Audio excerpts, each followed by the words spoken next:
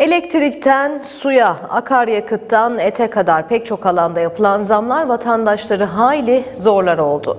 Birçok ürüne gelen zamlar üzerine restoranlar da menülerde fiyat artışına gitti haliyle.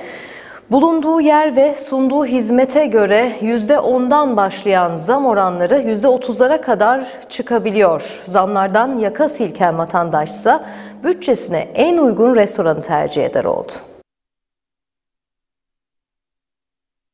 Özel günlerde dışarıda yemek yemek artık lüks oldu. temel gıda ürünlerinin fiyatları Mart ayında tam bir tsunami yaşattı. Mart ayında aylık bazda yüzde 17.3 oranında artış oldu. Yıllık gıda fiyatları artışı da yüzde 118.8 gibi rekor bir rakama ulaştı. Biz esnaf olarak da bu gelen zamları karşılayabilmek için zam yapmak zorunda kaldık. Elektrik tarifelerindeki değişiklik ve ete yapılan %48'lik zam sonrası restoran menülerinde de fiyat değişikliği yaşandı. Örneğin 200 gramlık köftenin satış fiyatı 32 lirayken bu hafta 38 liraya satılmaya başlandı. Restoranın bulunduğu yer, sunduğu hizmete göre menüsüne uyguladığı zam değişiyor. %10'dan başlayan zam %30'ları buluyor. 2 TL almış olduğumuz mangal kömürü dahi 10 TL gibi bir zam oldu. Elektrik geçen sene gelen işletmemize 11-12 bin lira gelen elektrik masrafı şu anda 30-35 bin lira. Dolaplarımız aynı şekilde. E bunlar da ister istemez müşterimize yansıyor. Bir kişi yemek yerken yani önce 40-50 lira verirken şu anda 70 lira 75 lira gibi 65 lira.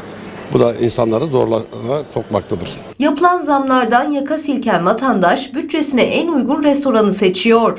Vallahi menüler bazı lokantalarda yüksek ama buna benzer lokantalarda biraz daha uygun. Fiyat artışları nasıl buluyorsunuz? Fiyat artışları vallahi hiç iyi bulmuyorum. Her şey çok yükseldi. Kırmızı Et Üreticileri Birliği Başkanı İlhan Ayhan, vatandaşın alım gücünün azalması nedeniyle eskisi gibi restoranlara gelemediğini, %15 oranında müşteri kaybı olduğunu söylüyor. Müşterimizin de gelir dağılımına göre bu müşterimizi çok ciddi şekilde zorlamaktadır. Tabii ki burada müşteri kaybımızdan da çok korkuyoruz ve aynı zamanda müşteri kaybımız da oluyor.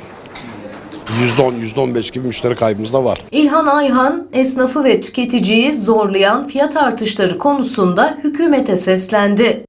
Burada esnafımız ve tüketicimiz çok büyük zorlanmaktadır. Bunun için devletimizden e, acil olarak elektrikte olsun, diğer ürünlerde olsun bir yardım beklemekteyiz. Çünkü yazın bu elektrik masraflarına et fiyatlarının yüksek olmasından dolayı da ciddi bir şekilde zorlanacağız.